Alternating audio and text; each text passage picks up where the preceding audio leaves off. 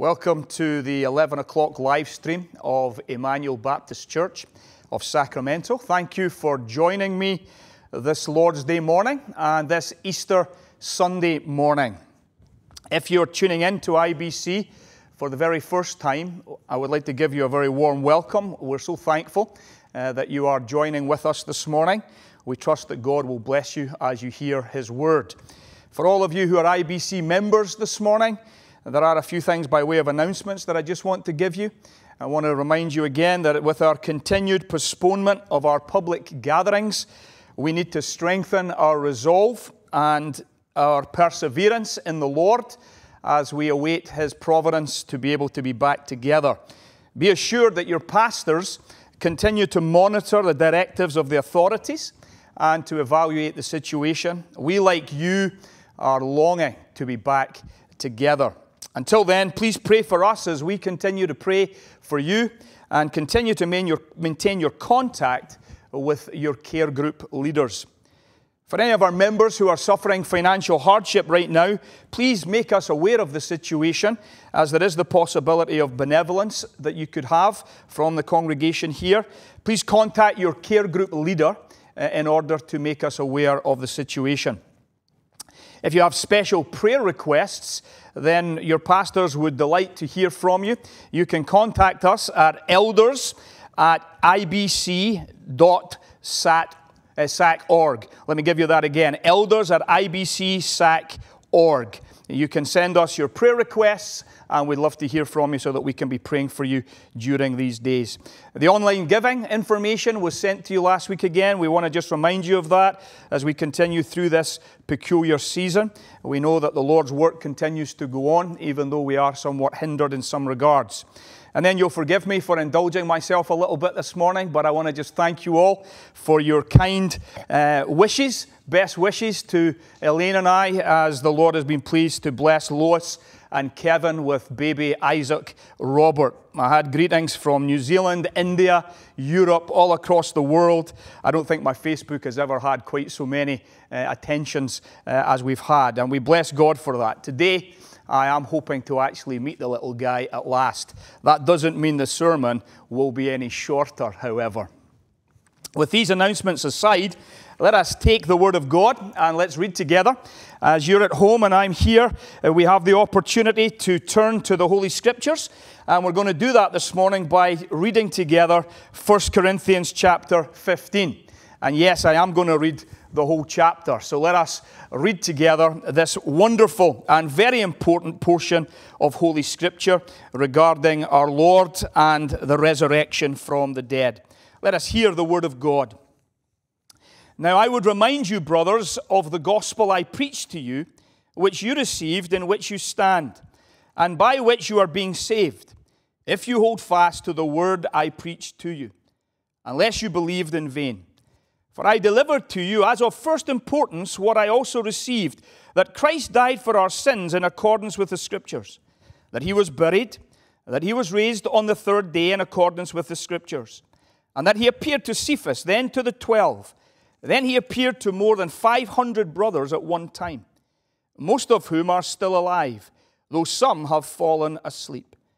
Then he appeared to James, then to all the apostles. Last of all, as to one untimely born, he appeared also to me. For I am the least of the apostles, unworthy to be called an apostle, because I persecuted the church of God. But by the grace of God I am what I am, and his grace towards me was not in vain. On the contrary, I worked harder than any of them, though it was not I, but the grace of God that was with me. Whether then it was I or they, so we preach, and so you believed. Now, if Christ is proclaimed as raised from the dead, how can some of you say that there is no resurrection of the dead? But if there is no resurrection of the dead, then not even Christ has been raised. And if Christ has not been raised, then our preaching is in vain, and your faith is in vain. We are even found to be misrepresenting God because we testified about God that He raised Christ, whom He did not raise, if it is true that the dead are not raised. For if the dead are not raised, not even Christ has been raised. And if Christ has not been raised, your faith is futile, and you are still in your sins. Then those also who have fallen asleep in Christ have perished. If in Christ we have hope in this life only, we are of all people most to be pitied. But in fact, Christ has been raised from the dead, the firstfruits of those who have fallen asleep. For as by a man came death, by a man has also has come also the resurrection of the dead. For as in Adam all die, so also in Christ shall all be made alive. But each in his own order, Christ the firstfruits, then at his coming those who belong to Christ. Then comes the end, when he delivers the kingdom to God the Father after destroying every rule and every authority and power. For he must reign until he has put all his enemies under his feet. The last enemy to be destroyed is death, for God has put all things in subjection under his feet. But when it says all things are put in subjection, it is plain that he is accepted who put all things in subjection under him. When all things are subjected to him, then the Son himself will also be subjected to him who put all things in subjection under him, that God may be all in all. Otherwise, what do people mean by being baptized on behalf of the dead? If the dead are not raised at all, why are people baptized on their behalf? Why are we in danger every hour? I protest, brothers, by my pride in you, which I have in Christ Jesus our Lord. I die every day. What do I gain if, humanly speaking, I fought with beasts at Ephesus? If the dead are not raised, let us seek and let us eat and drink, for tomorrow we die. Do not be deceived. Bad company ruins good morals. Wake up from your drunken stupor, as is right, and do not go on sinning, for some have no knowledge of God. I say this to your shame. But someone will ask, How are the dead raised? With what kind of body do they come? You foolish person. What you sow does not come to life unless it dies. And what you sow is not the body that is to be, but a bare kernel, perhaps of wheat or of some other grain. But God gives it a body as He has chosen, and to each kind of seed its own body. For not all flesh is the same, but there is one kind for humans, another for animals, another for birds, and another for fish. There are heavenly bodies and earthly bodies, but the glory of the heavenly is of one kind, and the glory of the earthly is of another. There is one glory of the sun, and another glory of the moon, and another glory of the stars, for star differs from star in glory. So is it with the resurrection of the dead. What is sown is perishable, what is raised is imperishable. It is sown in dishonor, it is raised in glory. It is sown in weakness, it is raised in power. It is sown a natural body, it is raised a spiritual body. If there is a natural body, there is also a spiritual body. Thus it is written the first man, Adam, became a, li- a living being, the last Adam became a life giving spirit. But it, is, but it is not the spiritual that is first, but the natural, and then the spiritual. The first man was from the earth, a man of dust. The second man is from heaven. As was the man of dust, so also are those who are of the dust. And as is the man of heaven, so also are those who are of heaven. Just as we have borne the image of the man of dust, we shall also bear the image of the man of heaven. I tell you this, brothers flesh and blood cannot inherit the kingdom of God, nor does the perishable inherit the imperishable. Behold, I tell you a mystery. We shall not all sleep, but we shall all be changed in a moment, in the twinkling of an eye, at the last trumpet, for the trumpet will sound, and the dead will be raised imperishable, and we shall be changed. For this perishable body must put on the imperishable, and this mortal body must put on immortality. When the perishable puts on the imperishable, and the mortal puts on immortality, then shall come to pass the saying that is written Death is swallowed up in victory. O death, where is your victory? O death, where is your sting? The sting of death is sin, and the power of sin is the law. But thanks be to God who gives us the victory through our Lord Jesus Christ. Therefore, my beloved brothers, be steadfast, immovable, always abounding in the work of the Lord, knowing that in the Lord your labor is not in vain. Let us pray together, seek the Lord's help as we come this morning to his holy word. Our Father in heaven, you are the great eternal God. You created human life, you rule over human life, and you bring all human life to an end. You give us health, you also send us illness. And you command all that happens in our lives in every place. In your holiness and in your righteousness, you made us to trust you, to love you, and to serve you. Father, in our sinfulness, we rebelled and turned away from you and sought to live our own way. We rejoice this morning that in your grace, you sent your Son, Jesus Christ, to rescue us and to reconcile us to yourself. It is in his life and in his death and in his resurrection from the dead that we find the forgiveness of our sins, peace with you, and eternal life. As we come to your word this morning, we come to it depending upon the power of the Holy Spirit. As we sit at home, as we listen, teach us the great truths of your salvation. We pray particularly today that you would grant us understanding with regards to your Son, the Lord Jesus and the resurrection from the dead that is promised to us through him. Give us insight. Give us faith. Give us encouragement. Give us hope today, Father. May we be better informed, better instructed in the truths of your word and the realities that are offered to us in Jesus Christ. May our faith be strengthened as we turn to your word now. For we ask these things in Jesus' name. Amen. What did J.D. Anderson, Lee Strobel, William Ramsay, Josh McDowell, Frank Morison, Gilbert West all have in common? Uh, they are men who, being deniers and doubters regarding the resurrection of Jesus Christ from the dead, set out to disprove the resurrection of Jesus Christ to the dead, but ended up being believers. Unlike Richard Dawkins, the well known modern day atheist, he declared this the message of the resurrection is petty, trivial, and earthbound, and unworthy of the universe. Whereas these other men, they researched and contemplated the claims of the Word of God and the Christian church regarding the historical, the physical, the bodily resurrection from Jesus Christ, and they concluded that indeed it was true. What about you this morning on this Easter Sunday when even the unbelieving world thinks about the life, death, and resurrection of Jesus? Do you truly believe in Jesus Christ risen from the dead? Do you understand why it matters? Do you understand what it means? Do you grasp the implications and the ramifications for the world and for the human race with regards to our Lord's resurrection from the dead? Ever since the days of the apostles, there have been deniers and doubters regarding Christ and his resurrection. There has also been a lack of understanding, it would seem, in certain quarters with regards to the importance and the meaning of resurrection, the resurrection of Jesus Christ.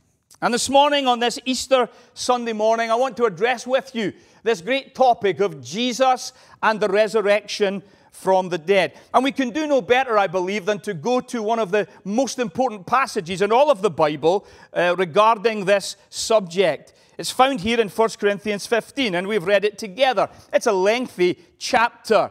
It is a very comprehensive chapter with regards to this topic. The Apostle Paul is writing to a first century church that has many issues. We know that they were divided over their celebrity preachers, their favorite preachers. They had issues with sexual immorality. They were struggling to deal with matters of Christian liberty. Uh, they were taking one another to court. And here in chapter 15, we also discover that they were debating and disagreeing over the resurrection from the dead. We see, don't we, that uh, the church is imperfect. The church is indeed marked by many spots and many blemishes, and yet the gospel of Christ is critically important to be taught to the church, to be understood by the church, that the church then might be faithful to the Lord Himself. And in the time that we have this morning, I want to set before you six truths from Paul's treatment of Jesus and the resurrection from the dead. that I'm persuaded we need to understand and believe.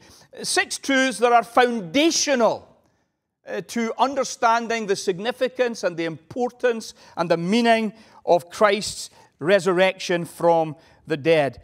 Uh, they're designed, I believe, in this passage written by the Apostle Paul to encourage us and to help us as Christians to persevere in our faith and to handle those who are deniers and doubters. So, as we walk into this passage together, let us consider, first of all, the truth that the resurrection of Jesus Christ from the dead is central to the Christian gospel. The resurrection of Jesus Christ from the dead is central to the Christian, Christian gospel. We see this in verses 1 through 11. Here, as the Apostle Paul opens up into this chapter, remember, of course, the chapter headings are uh, put in later, they're not there in the original. But as he moves into this section of his letter, the Apostle Paul now begins uh, to speak to the church regarding the gospel itself. And he makes it clear here in his treatment of the gospel, or in his explanation, as it were, of the gospel, that the, the gospel of the Lord Jesus Christ has two key foundational elements to it that are non negotiable. At the heart of the Christian gospel, two great truths are declared to us. Jesus Christ died for our sins according to the scriptures and the promises of God, and that Jesus Christ, having died for our sins, rose from the dead according to the scriptures and according to the promises of God. And so, what we see here, as the Apostle Paul lays this out for us, is that without the resurrection of Jesus Christ from the dead, there is no gospel. The good news about Jesus Christ has two components that must be kept together. You notice how Paul puts it in verse 3 For I delivered to you as of first importance, of the, as of the most significant truths that you need to grasp, uh, that I also received that Christ died for our sins according with the scriptures, that he was buried, that he was raised on the third day in accordance with the scriptures. That's why when we think of the person and work of the Lord Jesus Christ, we must always think of his life, his death, and his resurrection uh, together. They all play uh, different uh, roles in our redemption, but the reality is that they must be kept together. Jesus, having lived a sinless life, having died a sacrificial death, that same Jesus rose from the dead. And as a result of his sinless life, Jesus in his death took the penalty that we deserved satisfying the Father's justice, turning away the Father's wrath for all who trust in him. In his resurrection, he was vindicated by the Father. He ascended to glory in order to secure the application of what he accomplished in his death. And as I believe Pastor Steve will deal with tonight, uh, the sending of the Spirit and entering into high priestly intercession at the Father's right hand is also an inseparable part of Christ's work for us. In verses 5 through 8 of this opening section, uh, we hear from Paul that there were a number of witnesses historically to the resurrection. If Jesus Christ did not rise from the dead, then what are we to make of these testimonies? Were these people hallucinating? Were they lying? Why, as we shall consider later, would they be willing to risk their whole lives on something that was merely a hallucination or a lie? These are questions we must ask as we wrestle with the historicity and the reality of the resurrection of Jesus Christ. Their conviction that Jesus Christ has risen uh, was such that it changed their whole lives. They were willing to forsake everything for Christ as a result of their belief that he who had died had also risen from the dead. They became consumed with bringing this message of glorious hope to the world. They were persuaded that there is, there is one who has come from God, who has lived a, a, a perfect life, died a sacrificial death, and risen from the dead, whose name is Jesus Christ. And they wanted to tell the world about him. You see, whoever believes in Christ, the gospel tells us, shall not perish, but have everlasting life. And so, Paul's first point in his treatment of Jesus and the resurrection from the dead is to set out before us that the resurrection of Christ has a place at the very heart of the Christian gospel. The resurrection of Jesus Christ is central to the message of the Christian gospel. If we do not believe in Jesus Christ risen from the dead, then we do not believe the gospel, and we cannot therefore be saved from our sins. Secondly, notice this truth if there is no resurrection, there is no salvation from sin. Paul begins to develop this in verses 12 through 19. 12 through 19. Notice what Paul says. Now, if Christ is proclaimed as raised from the dead, how can some of you say that there is no resurrection of the dead. Paul had been in correspondence with this church in Corinth. Uh, his letters, in many ways, are responses to questions that were asked, to uh, hearing about the disputes that they were facing. Here we see very obviously uh, that there were those in the church, yes, those in the church who were questioning the reality of a resurrection from the dead. We need to understand that uh, the denial of resurrection from the dead is not just a 19th century uh, phenomenon, it's been an issue down through the centuries. Even in the first, first century church, there were those who rejected the idea that there could be any resurrection from the dead. And the Apostle Paul, he wants to address that very clearly here. But if there is no resurrection of the dead, then not even Christ has been raised. Paul has laid the foundation of the fact that the resurrection of Jesus Christ from the dead is central to the gospel message. And as he has done that, he now moves on then to address the specific issues that he's heard are plaguing the church in Corinth. Like every church, Corinth evidently had some who would rise up and would deny the truth of the Word of God. Now, how big this group was, we cannot tell, but it's obviously big enough for Paul to want to take it on clearly. Paul lays out several key issues here that add up to the main thrust of this section uh, with regards to his treatment of our subject. He, he, first of all, makes it very clear that a denial of a bodily resurrection of any kind means you must therefore logically de- deny Christ himself has risen from the dead. We see that in verse 13.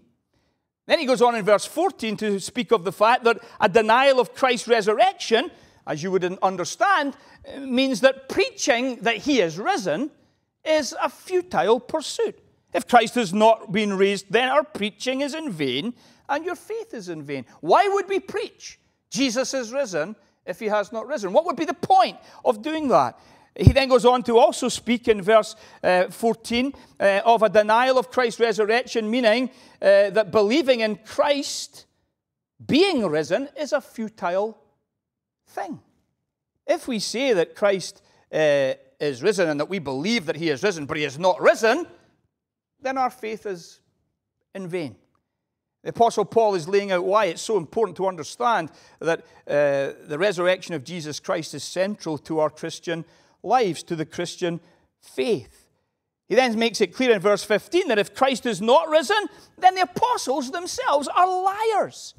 We are even found to be misrepresenting God because we testified about God that He raised Christ, whom He did not raise, if it is true that the dead are not raised. So when we deny the resurrection of G- uh, the resurrection of the body, period, we deny the resurrection of Jesus, we then make out that the apostles really were telling lies and misrepresenting God. These are not small issues when it comes to the importance of the resurrection of Jesus Christ from the dead.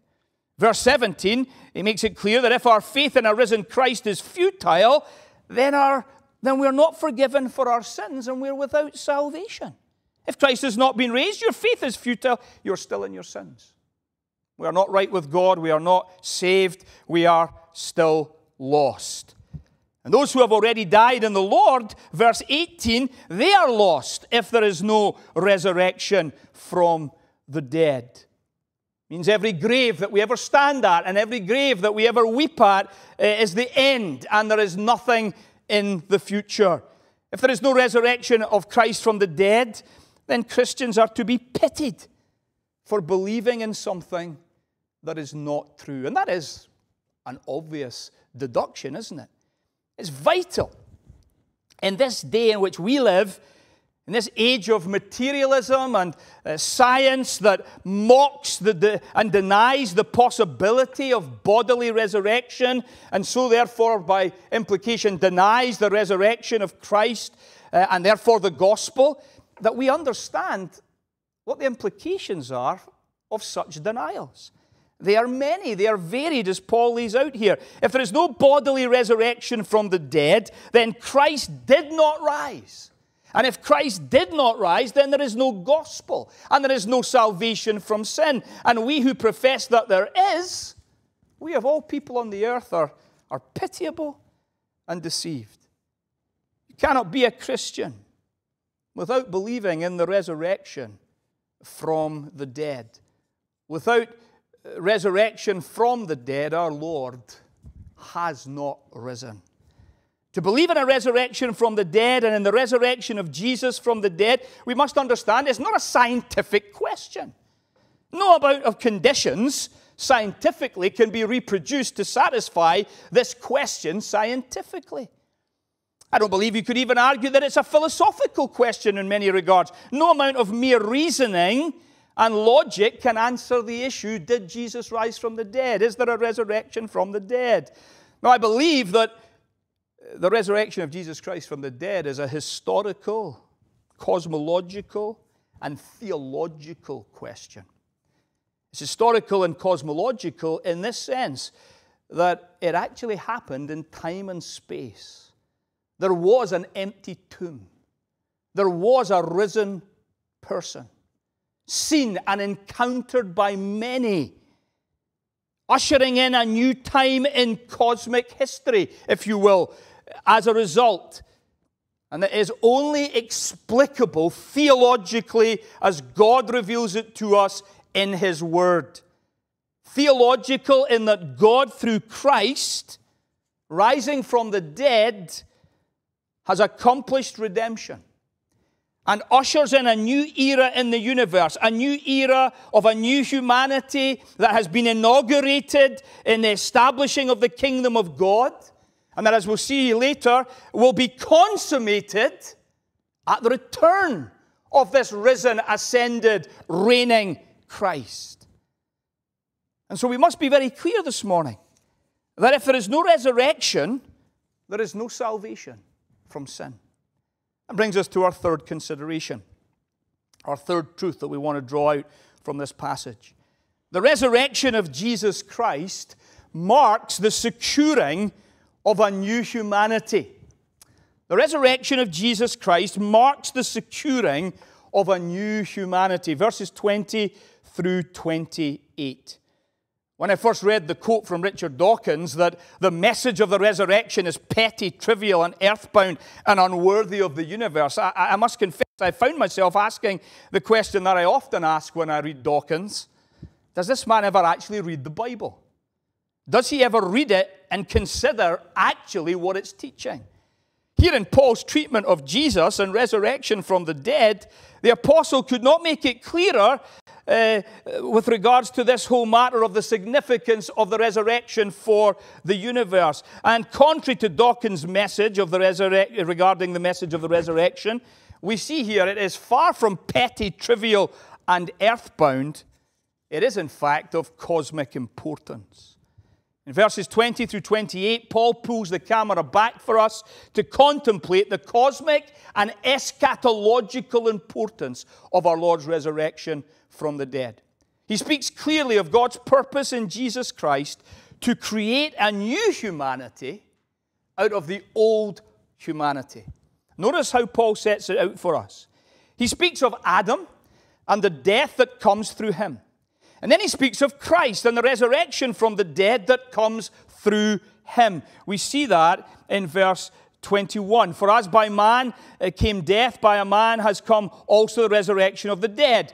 Who are these men? For as in Adam all die, so also in Christ shall all be made alive. But each in his own order Christ the firstfruits, and then at his coming, those who belong to Christ. Here is the important theological, biblical truth of federal headship set out for us by the apostle. The human race exists as a result of God creating Adam, our first parent, and from him we all descend, and from him we all receive his guilt, and we all receive his corrupt nature. Due to his disobedience, we all come under uh, the, uh, the wrath of God, the judgment of God. If we continue to go through this world only in Adam and never coming into Christ, we will face God without his pardon, without his righteousness, and we will perish. If, however, we come to believe in Christ and enter into union with him, we enter into the new humanity by grace through faith, and we shall receive all the benefits that God intends, that Christ has secured in his life, death, and resurrection. We shall be made alive with him for all eternity. And so Paul makes it clear that the resurrection of Christ from the dead is the beginning of a new humanity and marks the beginning of God's end time in human history. The inauguration of God's kingdom, mediated by Jesus Christ and destined to bring all of God's enemies to heel finally destroying death itself. That's what Paul lays out in verses 23 through 28. Paul gives us a big picture perspective here with very broad strokes. Christ having risen, he is reigning and he is saving and defeating his enemies. He will return and consummate all things and hand over all to the Father to finally and completely establish God's authority in every corner of the universe as God intends. A complete reversal, more gloriously reversing the whole issue of the fall and all that has happened. Richard Dawkins could not be more wrong with regards to his understanding of the resurrection of Jesus Christ from the dead. Jesus and the resurrection from the dead is glorious and vital and cosmic in its significance and in its meaning. God in Christ is rescuing and redeeming his whole created order. And all who repent of their sins and believe in his Son, they shall have part in this great and wonderful plan. That brings us to our fourth consideration.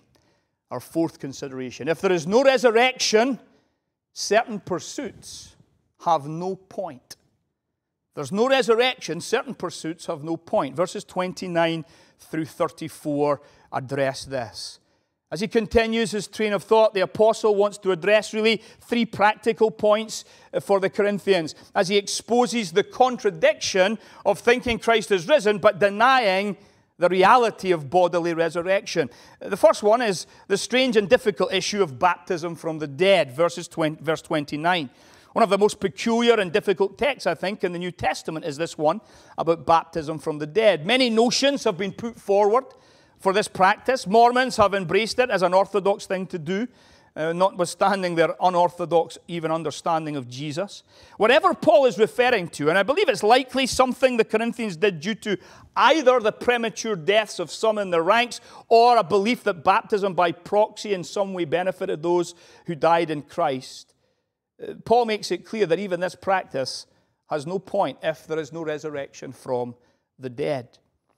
He also addresses the matter of suffering for the gospel in verses 30 through 32.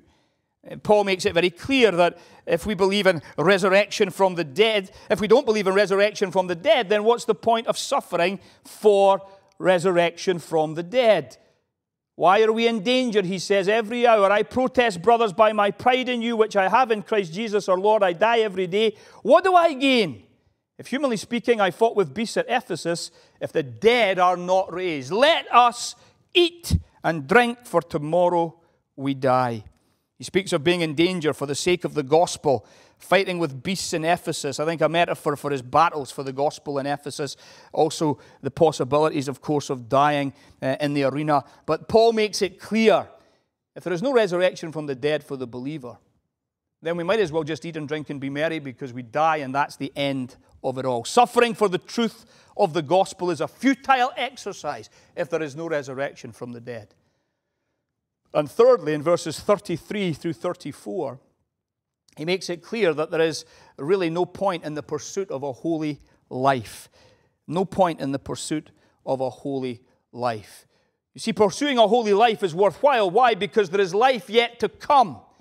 And if there is no resurrection from the dead, there is no life to come, then what is the point then of striving to be holy? What point is there to die daily to self and to seek to live faithfully before God if in the end there is nothing beyond the grave? Denying resurrection from the dead and so denying Christ's resurrection and the gospel, it has very practical implications in our daily lives. And Paul is concerned here as he writes to this church that we're, we're loose in their morals at times, we're, we're, we're licentious at times. He says, Do not be deceived. Bad company ruins good morals. Wake up from your drunken stupor, as is right, and do not go on sinning. I think he's directly addressing those who are professing to be believers, who are denying the doctrine of resurrection, and he's making it very clear to them they need to repent of their false doctrine and they need to put their lives in order before the Lord. He's even concerned as to whether some of them even know the Lord at all. And so, if there is no resurrection from the dead, Paul wants us to understand that certain pursuits have absolutely no point in our lives. Brings us to our fifth consideration. The resurrection of Jesus Christ guarantees the resurrection of all who trust in him. The resurrection of Jesus Christ guarantees the resurrection of all who trust in him. We find this in the lengthier section of verses 35 through 48. Having addressed the contradiction of those who confess belief in Christ's resurrection but deny the reality of bodily resurrection in general, Paul now turns to a second aspect of this controversy. Eh, he turns to those who are not outrightly denying, as it were, the resurrection, I believe, but were questioning, well, how, how is it going to work? How, is how can it come about? How can it actually happen? If there is a resurrection from the dead, what is it like? Verse 35 someone will ask, How are the dead raised? With what kind of body do they come? We realize, don't we, that we're not the first people to speculate about things beyond us. We're not the first people to ask questions about how it's all going to come to pass. The first century Christians were doing the same. Those who were denying and doubting a bodily resurrection are doing so in part because they cannot conceive of the body that they possess being resurrected. Others are wondering, well, if it's true, what is it going to be like? And Paul addresses this by, first of all, an analogy, and then by way of a contrast. Three analogies he uses, first of all, speak of the manner in which bodily resurrection shall occur. occur. Notice uh, the analogy from agriculture, the analogy from the natural world, and the analogy from astronomy that the Apostle Paul employs. Verse 37 he employs the analogy from agriculture. What you sow is not the body that is to be, but a bare kernel, perhaps of wheat or of some other grain. He's pointing them to something they would be familiar with sowing seed to die and reaping a harvest. Then in verse uh, 39, uh, he goes on and he says, For not all flesh is the same but there is one kind for humans, another for animals, another for birds, another for fish. There are heavenly bodies, earthly bodies, but the glory of the heavenly is of one kind, and the glory of the earthly is of another. There is one glory of the sun, another glory of the moon, and another glory of the stars. For star differs from star in glory. Even in the natural world, we see, don't we, that there are all different kinds of bodies and all different kinds of flesh in the animal world. And even in astronomy, verse 40, he makes it clear that even uh, in astronomy, there are different uh, heavenly bodies, earthly bodies, glory of the sun different from the glory of the moon. So Paul draws out these three analogies to help us to see look, as you look around at the natural world, as you look around at the world that you're living in, you can see the reality of different bodies having different aspects to them. And therefore, he's going to draw it together. He's going to make it clear. Therefore, it's not a stretch, is it, to believe that the body that we have now, though it dies, can be resurrected in a different way, with a different, with a different makeup, as it were, for all eternity. And this is what he speaks to, I think, by way of contrast. By way of contrast in verses 42 to 48. Notice this lengthy section that he addresses this issue with. So is it with the resurrection of the dead. What is sown perishable is raised imperishable. In other words, that which decays will give way to that which never decays. Sown in dishonor, it raised in honor. That which is declining physical appearance, it has declining physical appearance, gives way to that which will have no physical declining uh, physical appearance. That's a great encouragement as we get older, isn't it? Sown in weakness, raised in power. That which dies and goes into the ground gives way to that which is risen from the grave. Verse 43. Sown a natural body, raised a spiritual body. That which is of this earthly realm gives way to that which is of the future spiritual realm verse 44. And then he says, sown in union with Adam, raised in union with Christ. That which is connected to our first, the first parent, Adam, will give way to that which is connected to our head, Christ. Verse 45. And then perhaps the most wonderful conclusion to this uh, section comes out in verses 46 uh, through 48 where he makes it clear that so, as, as, as we sow the image of the man of dust, so we are raised to bear the image of the man of heaven. That which is united to Adam in death will be raised to life through union with Christ to be made like him. He's bringing us to our glorification. And so he's facing down the deniers and the doubters. Paul makes it clear in this section of his treatment of our subject that the bodily resurrection of the believer is guaranteed in Christ because God has ordained it to be that way. Verse 49. He uses uh, the threefold analogy and then he uses this uh, several part uh, contrast to help us understand the reasonableness of resurrection from the dead. What is Paul's argument? I think it's this by looking at the natural world and how it works with seed dying and harvest rising, considering the different kinds of flesh possessed by different creatures in different environments, knowing that different entities possess different kinds of glory, it's perfectly reasonable to believe that God, eh, in bodily resurrection, can do the very same thing that we would understand what God's purpose is in us dying and rising from the dead. The body that is buried is connected to the body that rises, but it is very different. The body that is to come will be equipped in its essence for the environment that it is to inhabit. And because Christ himself has, has risen to inhabit that realm, all who are united to him by faith will also inhabit a body like his. Now, that is a glorious encouragement and a blessed hope for us as those who are heading down toward the grave. I wonder, are you a denier of bodily resurrection? Do you doubt it can happen? Then you're not considering even the world around you in which you live, where God has given you a foreshadowing of all that He is able to do, even as He has set up the natural world in which we live.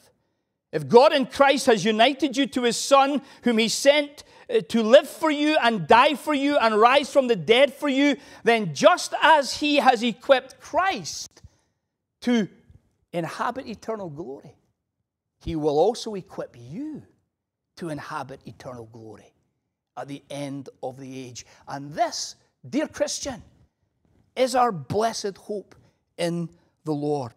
It is to this end, to the end of the age, that Paul now draws our attention as he concludes his treatment of this great and glorious subject of Jesus and the resurrection from the dead. And so we come to our sixth and final consideration. In Christ, God's purpose to destroy death and bring about eternal salvation is fulfilled.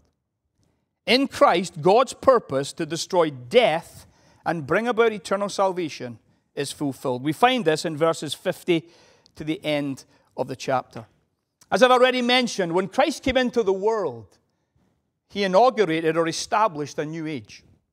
It is the beginning of the age to come the new creation. It's prophesied by the prophets, it's expected by the prophets. It was the culmination of all of God's promises to Israel. Described in various parts of the New Testament as the kingdom of God, Christ as king has established the kingdom of God at his first coming. And he will consummate it, bring it into fullness at his second coming. Paul speaks to the fulfillment of God's purpose in Christ in this final section. He tells us our bodies must be changed to inhabit eternal glory. We see that in verse 50. I tell you this, brothers, Flesh and blood cannot inherit the kingdom of God, nor does the perishable inherit the imperishable. He's not saying that we will not enter into eternal glory as human beings. He's simply saying there has to be change in our humanity so that we might inhabit eternity. Secondly, we see some believers will die and be resurrected. Some will be alive and changed at Christ's coming. Verses 50 to 52. Behold, I tell you a mystery. We shall not all sleep but we shall all be changed in a moment, in the twinkling of an eye, at the last trumpet. For the trumpet will sound, and the dead will be raised imperishable, and we shall be changed. Paul then tells us, for this, in, in a, eh, eh, for this perishable body, verse 53, must be must put on the imperishable, and this mortal body must put on immortality. When the perishable puts on the imperishable and the mortal puts on immortality, then shall come to pass the sayings, what? Of the prophets, the fulfillment of the prophets. When this final day of resurrection comes and we are equipped for all eternity to dwell for all eternity in the new heavens and the new earth, the prophet Isaiah's words in Isaiah 25 8 will be fulfilled. Death will be swallowed up in victory. When that day comes, then the words of the prophet Hosea will be fulfilled. Hosea 13, 14. Death's sting will be gone because it will be banished from the universe. In this consummation, God will not only destroy the enemy, which is death, but also the enemy, which is sin. And even the very role of the law of God will actually change. Brothers and sisters, there is no message like the Christian message. There is no hope like the blessed hope of the Christian gospel. The Christian message declares that Christ died for our sins and that he rose from the dead. His resurrection from the dead means that there is a resurrection from the dead for mankind yet to come. One that in Christ we must look forward to and be confident in. When the day of resurrection comes for the believer and we take possession of our resurrection bodies as believers, Death will be gone. Sin will be gone. Even the role of the law in our lives will change. We will be delivered into the eternal kingdom of God, the new heavens and the new earth. So, having laid out his argument for believing in Jesus and the resurrection from the dead, the apostle closes his discourse with an all encompassing word of application. What should our response be to the truth of Jesus and resurrection from the dead. Paul gives it to us in one of the most wonderful verses in the New Testament to the Christian. Therefore, my beloved brothers, in the light of all that I've said regarding the gospel and Christ and the resurrection from the dead, be steadfast, immovable, always abounding in the work of the Lord, knowing that in the Lord your labor is not in vain. We're to be steadfast, marked by a sound commitment of heart to God and Christ. Immovable. That is, we're to be marked by an unshakable resolve regarding God and His purpose in His Son. We are to be always abounding. That is, marked by a continuous engagement with the world regarding this great gospel of Christ, that men need to believe it in order to be saved. We're to be involved in these things because this is the work of the Lord the great message of hope in Jesus Christ. And Paul makes it very clear, doesn't he? That we do this because we know that in the Lord, because of this truth that is in Christ, our labor is not in vain in Him.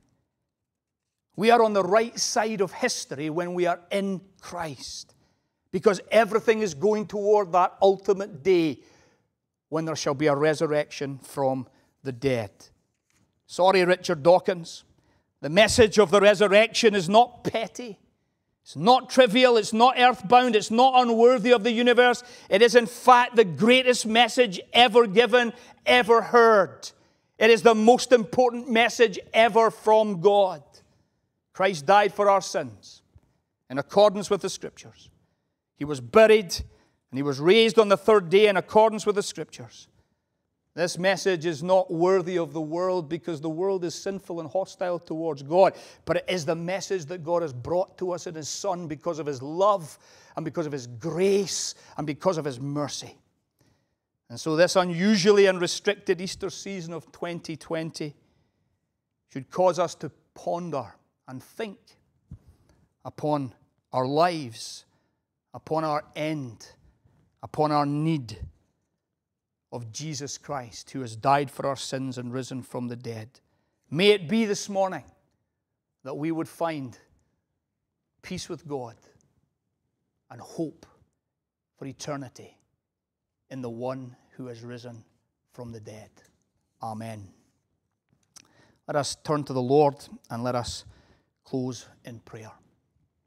Father, what wonders are contained in your holy word. You teach us truths that we would never know nor understand unless you revealed them to us in the scriptures. And in these days of trouble and trial, in the face of death because of disease, we thank you for the gospel of Jesus Christ. We thank you for the great hope that lies at its center. That though we may die, yet shall we live through faith in your Son. We thank you that Jesus Christ died for our sins and rose on the third day according to the Scriptures. We thank you that because of Christ, sins can be forgiven. Because of Christ preaching the gospel makes sense. Because of Christ, we have hope not only for this life, but the life to come. You've created the world in such a way as to put on display your power and your purpose. You're working out your purposes even in these challenging times. Father, we pray this morning that in the midst of a society that is confused and fearful, that you will grant those of us who are in Christ grace to bear testimony to the truth of the gospel, to bear testimony to the hope that we have in Jesus regarding resurrection from the dead. Again, we would pray for our president and all his advisors that grace would be given to him and all who are making decisions at the federal level. We would pray also for our governor and all his advisors here in California that they too would have wisdom in making decisions that affect all of our lives. We would ask you that you would uh, sustain all who are continuing to work in the medical realm. We pray for all who are afflicted with this COVID virus, that you would show mercy and grace, and that those, Lord, who are leaving this world because of this virus, that you would bring your gospel of hope to them before it's too late. We also pray for those who are concerned about their livelihoods, some already realizing that they will not easily recover financially. Father, give them grace and show them mercy and grant them wisdom. May they understand that our lives do not consist merely of the things that we possess and that we need to be believing in Jesus Christ to be right with God, to have eternal life. Father, as a church, we confess we are weary of not meeting. We lament our separation. We desire to be gathered to sing your word together, to read your word together, to pray your word together, to hear your word preached together. We long to observe the ordinances of baptism and the Lord's Supper together, that we might again enjoy the sweetness and the blessedness of communion. O Lord, hear our plea. We ask that you would be pleased that soon you would lift restrictions and enable us to be back together. We're thankful for modern technology, for conference calls, even for this live stream, for texts and for phone calls, but we recognize it is not the same as actually meeting together. And so we pray, Lord, that soon we would enjoy fellowship together again. May your word, in the meantime, strengthen us May we live in the light of our resurrection from the dead through Jesus Christ. And may you be pleased, Father, to grant us the persevering grace that we need until you're pleased to bring us together again. For we ask it in Jesus' name. Amen.